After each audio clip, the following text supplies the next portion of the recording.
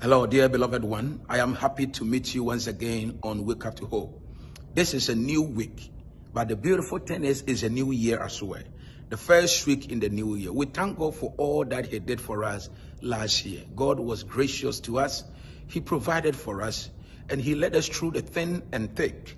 And by the grace of God, we have been emerged victorious because we are in 2022.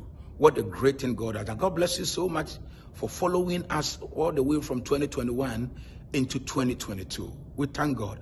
Now we are beginning a new year also with a new week. What do you think should be the beginning point or where we should start from? I believe that we should start from the place of prayer. where Jesus started with prayer and he ended with prayer. That is why we ended with prayer and we are beginning the new year with prayer. So we are looking at prayer because it is the breath of the believer. It is the only way we can commune with God, the only channel heaven has made available unto us.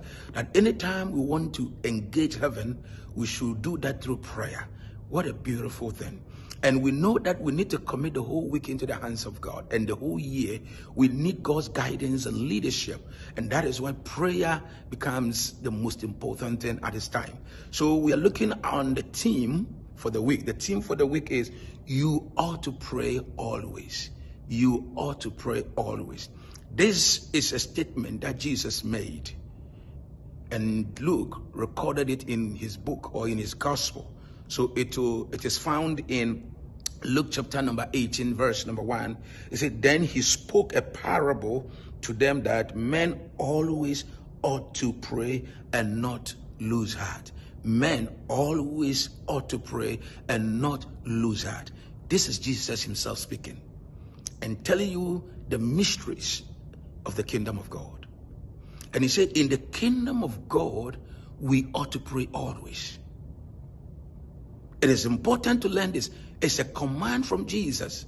And I just want us to look at the word ought because that particular word is a key to the whole statement. The word ought means it is necessary or it, there is need of, or you can also say is right or proper. Jesus is saying it is right and proper for you and I to pray always without losing heart. It is necessary. There are things that necessitate prayer.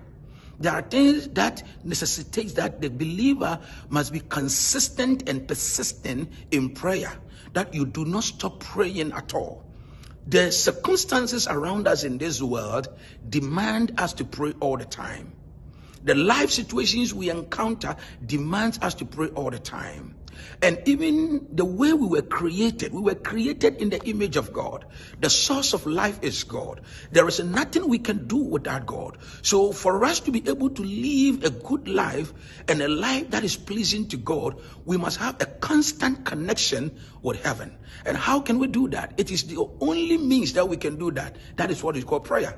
Prayer is the only means, the only means we can talk to God. So when you deny yourself prayer, you are denying yourself access to God. And that is what Jesus says. It is important, it is necessary, it is proper that you cultivate this habit, especially in the year 2022. Beloved, nobody knows what is in it, but the only one who knows the end from the beginning is God. So you need to con- get contact with heaven, keep contact with heaven, remain faithful to God, and always engage in heaven to know how to go about your life, how to do things. And I believe God will bless you this week, remember to pray for yourself. Remember to pray for other people. Remember to pray for the ministries in the church. Remember to pray for the sick and the distraught. Remember to pray for those who are ensnared in sin. Remember to pray for the nations. Remember to pray for all kinds of people because that is prayer. Prayer is not only asking God for your needs, but prayer is what? Talking to God about all things. Beloved, you need to take charge of your environment through prayer. You need to take charge of your life through prayer.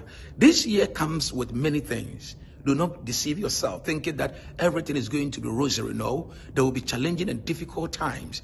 But those who are able to stand up in prayer, they are the ones that will succeed. So it is important you cultivate this spiritual attitude of consistent, consistently remaining in God's presence. Jesus said, remain in God's presence.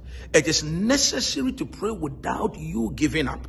There are times you may be attempted or you may be tempted, sorry, to give up. But don't give up. Don't give up because it is important. Because without it, you can't survive. Without it, you cannot excel. Without it, you cannot achieve your purpose. So make prayer part and parcel of your daily life. May God bless you and keep you. May God guide you through this week and this year. May prayer become part of your life. May you always seek heaven's intention concerning everything you do. May God bless you. Have a prosperous new year. In Jesus' name, I pray with you. Amen.